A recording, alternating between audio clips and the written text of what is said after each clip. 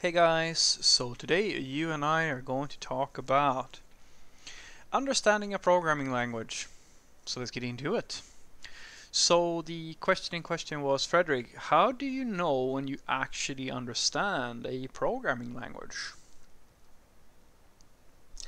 Well, I would say when you most of the time at the very least don't have to look things up I think that that is the best answer, because uh, I I can't really give you a better answer to the, uh, to this than that. Uh, as uh, to give you an example, so I am uh, born and raised a Swede, which is an amazing and fantastic thing, of course. But even though I have been speaking Swedish since I can remember, I still have to look up some words when we when I talk in my native language because I don't know the entire Swedish language. It's that simple. I don't need it. I can communicate with every other Swede on this planet, well, practically, and they can understand what I'm saying, and we I can understand what they're saying. And the same thing goes for you with programming languages and working in any programming language. If you can build all the things that you need to be built, you don't have to know about every single feature of the language. That's not practical. Uh, in some cases, are. I mean, there are. I think that these things. I mean, there are. There are. They are curious, of course, but there are these people who really have, they have a knack for this thing. And there's these articles you probably have seen at some point where it's like, oh, 10 obscure features of say JavaScript that you probably didn't know about, and I kind of go, well, if uh, I'll just give this a really quick read. I'm not going to feel bad about the fact that I don't know them because why would I care about them unless they have a practical value or something something like that, right? So usually what I argue is that the thing that you should focus on is the stuff that makes you productive. That's like you know that you understand a programming language when you know how to perform the tasks that are required for you because the programming language that you're using it's just a tool. It's just a tool for you to be able to fulfill some business requirement or some fix some type of problem right. And as long as you understand your programming language well enough to know, okay, this is probably the best pattern to use in this language to do this thing.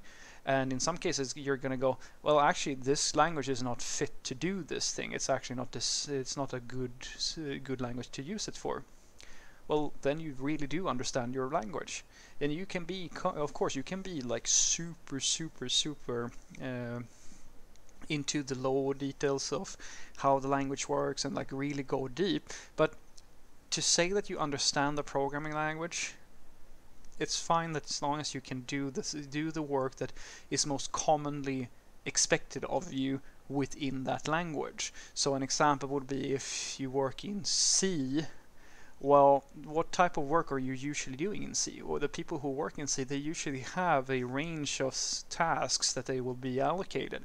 And as long as you can do those things with C, then you then you know C, even though you could be much much much better at it.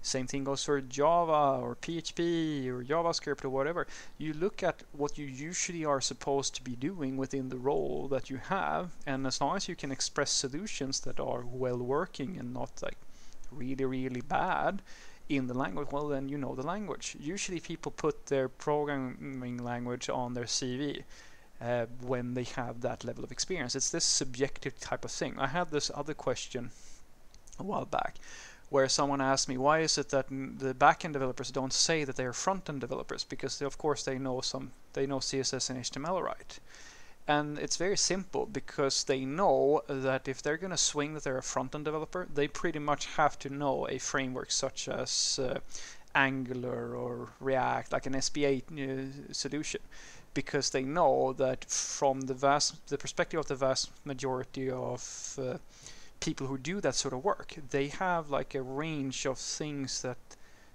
or tools that they identify as yeah this is the range of stuff that you need to know in order to call yourself a front-end developer or whatever right and it's the same thing with any programming language if you're supposed to know quote unquote the language well you probably should know what a for loop is or like how to uh, do certain operations and and switches and etc etc right uh, in order for you to say that you really understand it. But that doesn't necessarily mean that you know every single detail about that language. It's it's not practical. If you can uh, use the 80-20 rule here. If you can do 80% of the stuff that you need to do, then look up the other 20% and say that you know this stuff.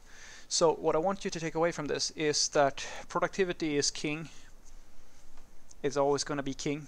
And as long as you can produce solutions that are accepted uh, uh, from the community within the language that you're working, uh, just say then yes you understand the programming language. You don't have to be a master and know everything about a programming language to say that you know it. You simply need to be able to do what is most commonly expected of you to do or to be able to do within that language. And it changes a little bit.